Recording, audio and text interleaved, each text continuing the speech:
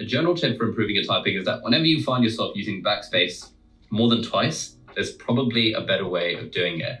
And so if I take that typo back, what I'm going to do is I'm going to use uh, Option and backspace. Option and backspace. So as a Unix user, I would use, or readline user, I would use Control W for that. So, Option, backspace, yeah, it works. Control W doesn't do anything. Okay, um, let's go onto my Arch machine. Um, option would be the Windows. Control okay, Control W wants me to nuke. Uh, how would I go back? I think, huh. I actually don't know how to quickly go back in a text area. Um, I, know, I know how to do it in a terminal, Control W. So I've moaned and whined about copy and paste being inconsistent between Arch and Mac, Linux and Mac, Windows. And yeah, the readline stuff I've also been very um, unsatisfied with. The text area bindings.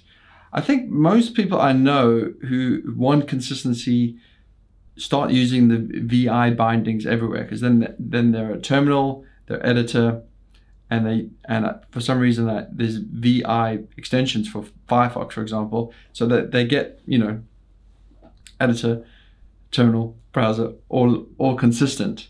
I don't know if, to be honest, I'm most familiar with the read line Control A, Control E, Control W type of Control K. I'm tr- I'm mostly familiar with readline type bindings. I'm unfamiliar of any browser extension that implements it in order to get my text area working as I would like it to. I only just discovered today. If you follow on tw- if you follow me on Twitter, you would have seen my tweet. Today I'll learn about Tim Pope. Fantastic guy. Thank you so much. Vim RSI, which basically implements readline bindings in Vim, which is just great. I mean, I've been missing this it, for, uh, throughout my time using Vim. So now I'm in this position like, do I stick to readline? Do I go to VI? Um, I'm really just confused. I mean, it's been such a struggle just getting copy and paste kind of sane that am I biting too much to chew when it comes to getting all the other keyboard shortcuts consistent?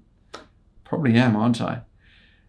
Do please uh, comment below, like the video, and uh, please tell me, please tell, please tell me how to do this. I don't know. I'm sorry, guys. It sucks, doesn't it? it sucks.